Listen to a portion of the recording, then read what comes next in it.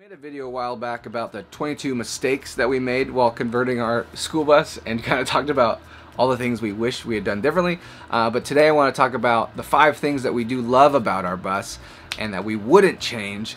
Um, and so this is going to be a little more positive. So the uh, first thing we love about the bus is the length and the size of it. So it's a 40 foot pusher which allows us the full length of the bus for build space except for that little corner in the driver's area.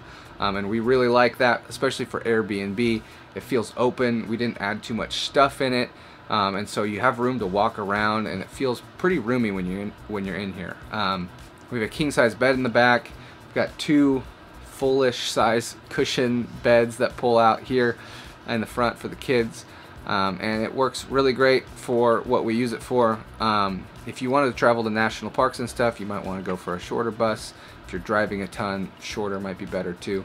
Um, but for just sitting stationary, uh, 40 feet has been awesome. The other thing that we love is the layout. Kind of already talked about that. It goes with the length, but uh, the way we broke it up into two kind of separate living spaces. You got the living room in the front and the bedroom in the back and then the little bathroom in between that separates them. So when you walk in, you can't see all the way to the end of the bus, and so it creates a little bit of privacy with the bedroom.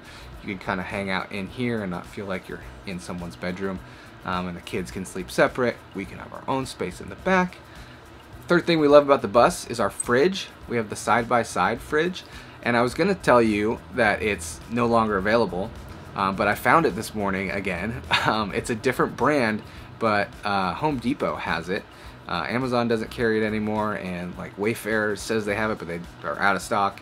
And so I'll put a link to our fridge. It's really great. It's below the countertop height, um, so you don't lose any counter space, and it's not a big ugly fridge in the way. It, it's really subtle. It's nice, stainless steel, and it's enough room for you know like a week's worth of uh, food. And so the fridge. Fourth thing we love is our Cubic Mini. That was a late addition to the bus uh, because we were having a hard time keeping it warm with just space heaters and the electricity bill was insane. So uh, we bought a cubic mini stove. It's like this big. You have to put little tiny pieces of wood in it and it's very fun and it's actually very effective. Um, the people who stay in the bus on Airbnb love it and we love it. Uh, chopping up the wood isn't super fun, but it's a great job for my seven-year-old.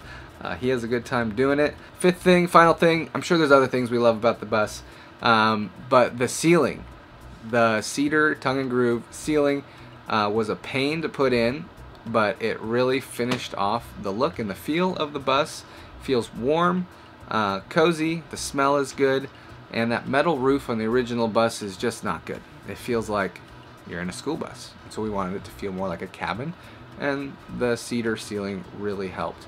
Um, not easy to put in, not cheap, um, but we wanted to create an experience when people came on Airbnb and for ourselves we wanted to be comfortable in it and so that is what we decided to do. Uh, those are the five things we love about our bus. Um, I don't know, you can leave comments and tell me what you love about our bus if you want. Um, but yeah, go ahead and like and subscribe to the channel if you want to see more school bus stuff and uh, we'll see you around.